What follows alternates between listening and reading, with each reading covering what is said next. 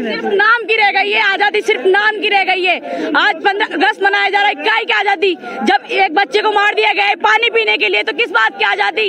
और दलितों पे हो रहे अत्याचार को आज़ादी चाहिए। और इंद्र कुमार को न्याय मिलना चाहिए और उसके परिवार में दो सदस्य को नौकरी मिलनी चाहिए और पचास लाख का मुआवजा देना चाहिए उन लोगों को।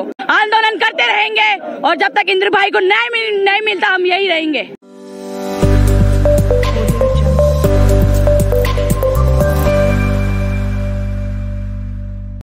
नमस्कार साथियों मैं इंद्र फोगट और आप देख रहे हैं इंडिया टुनाइट आज के शो में आपका स्वागत है। अब हम फ़िलहाल हैं रा, राजस्थान यूनिवर्सिटी में और जो दो तीन दिन पहले एक हृदय विदारे की घटना हुई थी जिसमें एक बच्चे को टीचर ने मारा था छुआछूत के चक्कर में एक मटके से पानी पी लिया था और इसके चक्कर में टीचर ने उसको इतना मारा कि वो तड़प तड़प के हॉस्पिटल में आखिरकार और अपना दम तोड़ दिया। तो इसको लेकर राजस्थान यूनिवर्सिटी में जो समाज के लोग हैं वो यहाँ पे बैठे हैं तो स्टूडेंट हैं वो प्रोटेस्ट करें कि आखिर किस तरीके से एक आज़ाद भारत के अंदर इस तरीके का ये काम होता रहेगा कब तक इस तरीके के हमें धरने प्रदर्शन करते रहने पड़ेंगे। बच्चों के साथ कब तक ये अत्याचार होता रहेगा? तो चलिए उनसे जानते हैं कि आखिर क्या इनकी मांग है और आखिर क्या चाहते हैं कि क्यों ऐसा समाज में हर रोज घटित होता रहता है? यहाँ पे रोस में स्टूडेंट्स रोस में और मनुस्मृति को विरोध में ये जो पर्चे हैं वो जला रहे हैं। किस तरीके से देखिए? तरीके की घटनाएँ हो रही हैं और आखिरकार कब तक लोगों को ये चीज़ें सहन करनी पड़ेगी? कब तक बच्चे इसके शिकार होते रहेंगे?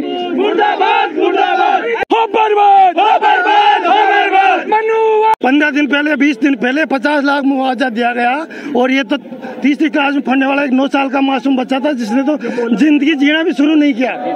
तो ये जो दोहरी राजनीति और दोहरी मानसिकता है अशोक गहलोत की उसके खिलाफ हम आंदोलन करेंगे।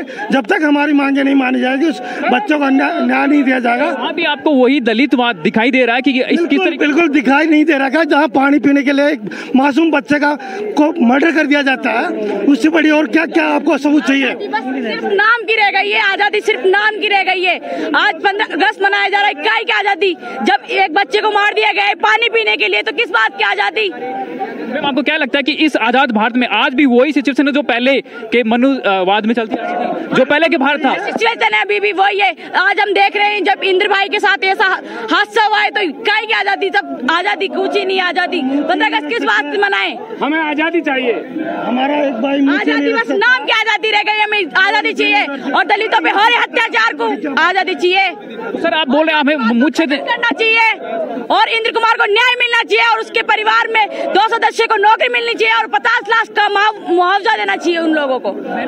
कब से यहाँ पे बैठी है इस आपका क्या आगे का क्या प्रोग्राम छात्र भाई कल से यहाँ पे बैठे हुए हैं। और जब तक सरकार हमारी बात नहीं सुनेगी हम यहीं पे बैठे रहेंगे और ऐसे ही आंदोलन करते रहेंगे और जब तक इंद्र भाई को न्याय मिल, नहीं मिलता हम यही रहेंगे। सर आप बोल रहे कि हमें मुझे नहीं रखने का अधिकार तो ये क्या क्या बात हुई? कहाँ रखने देगा? ये आपके सामने एक नहीं हज़ारों ऐसे केस आ चुके हैं जहाँ हमारे मूछों को लेके हमारे भाई को चाकू से गोद दिया जाता। फ़र्क इतना होता अगर वहाँ कोई मोमडन होता तो ये जो भारत की जो राजनीति है मनुष्य प्रति की जो मानसिकता है उसको हिंदू मुसलमान का दर्जा दे दिया जाता। जैसे उदयपुर में इसी चीज़ को मारने वाला मुस्लिम होते हुए तो तुरंत हिंदू मुसलमान का एक धार्मिक उन्वान दे, दे देगा। अगर कल यहाँ वो जो राजपूत समाज का था जो राजपूत था चेल सिंह अगर वहाँ कोई मोमडन होता तो आज भारत के हर नागरिक और हर जो इन संगठनों से जुड़े हुए जातिवादी मानसिकता का जो शिकार थे वो इसको माथे पे उठ के और धरना प्रदर्शन करने शुरू हो जाते आज हमारे साथ कोई हमारा भीम आर्मी या जो स्टूडेंट फ्रंट है इनके अलावा कोई संगठन हमारे यहाँ उसके प्रोटेक्ट में नहीं आया। ये हमारी मानसिकता तब और ज़्यादा दर्दनाक हो जाती जब एक छोटा सा बच्चा जिसको ये पता भी नहीं था कि आखिर दादीवाद होता क्या वो इसका शिकार बन रहा है तो क्या क्या समाज में क्या कैसी स्थिति अभी भी बनी हुई है? बिल्कुल ज़ीरो पे है आज भी हमारा समाज जो आज के सौ साल नहीं हज़ार साल पहले जो मानसिकता थी वही आज दरकिनार है। खाली एक वोट बैंक जहाँ जहाँ तक लेना होता है वहाँ सबको सम्मान दर्जा दिया जाता है जहाँ ऐसा कोई काम आता है वहाँ तुरंत जातिवादी ये लोग कर देते। हैं तो हमारे साथ आज भी दोहरी राजनीति और दोहरी मानसिकता का ये परिचय देते हैं। तो आपने चार महीने पहले हमने देखा जितेंद्र पाल मेघवाल की हत्याकांड कर दिया गया। उसके अंदर सरकार ने अब तक हमारी कोई मांग नहीं मानी है। और उसके बाद में जो उदयपुर में कांड हुआ उसमें सरकार अशोक गहलोत खुद जाके मिल के आता खुद जाके पचास लाख और दो सरकारी नौकरी का मुआवजा दे गया था जितेंद्र पाल मेघवाल वाले मामले में उन्होंने कुछ नहीं किया।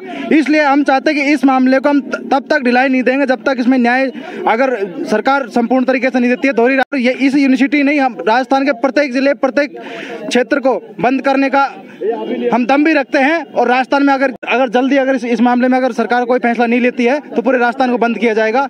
जय भीम। आपने एक जो ये प्रोसेस ले रखा है इसमें मनुस्मृति मुर्दाबाद। तो क्या क्यों कहना चाह रहे हैं? इसलिए कह रहे हैं क्योंकि ये मनुस्मृति है जो दलितों को बिल्कुल भी नीचा दिखाने की कोशिश करती है और सुअसूद का प्रतीक एक मेरा मित्र है तो ये चाहता हूँ कि समाज के लोग उनको लात मार के बाहर दे उनको वोट देना बंद करे।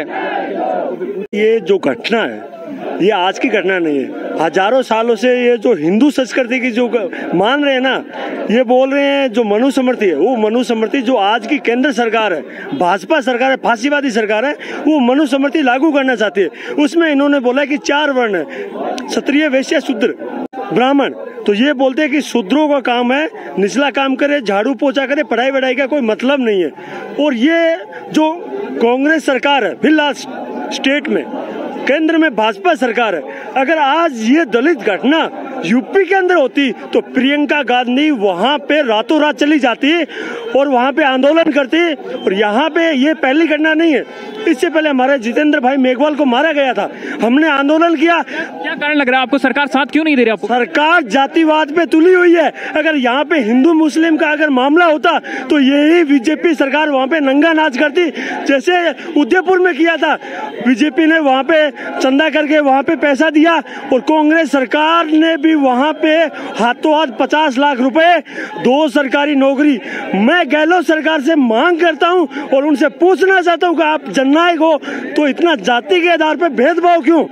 आप हाथों हाथ हाथों हाथ नौकरी का फैसला लेते हो, पचास लाख रुपए देते हो, वहाँ पे चिल्लर से पाँच लाख रुपए दे दिया गया और कल वहाँ पे लोगों पे लाठी चार्ज किया गया।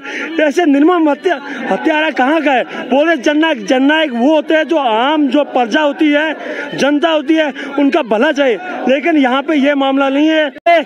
उनके परिवार को पचास लाख रुपए मिले, सरकारी नौकरी मिले, उनके परिवार को सुरक्षा मिले, और जो आरोपी है, उनके स्कूल की मान्यता रद्द की जाए और फास्ट ट्रैक से तुरंत सुनवाई करके फांसी की सजा हो। जी एक पर्सन ये है कि मैं गहलोत साहब को ज़रूर कहना चाहूँ कि अगर कानून की बात नहीं मानी अगली तो गुजरात मारे जाड़ोर गए बाढ़ मेरे गए दो सौ तीन सौ किलोमीटर पड़े। ठगला ने मारवाड़ी ले गुजरात के कांग्रेस कार्यालय जान झंडा टेक ना लग। नहीं तो मान ले कान खोल खोल लोग आगे बात पूरी मान ले। तो सर आपको अ, क्या लग रहा है अब अपनी जो राय है वो कमेंट सेक्शन में ज़रूर रखिए और साथ में चैनल पर नए हैं तो चैनल को सब्सक्राइब भी ज़रूर थैंक्स फॉर वॉचिंग मिलेंगे नेक्स्ट वीडियो में।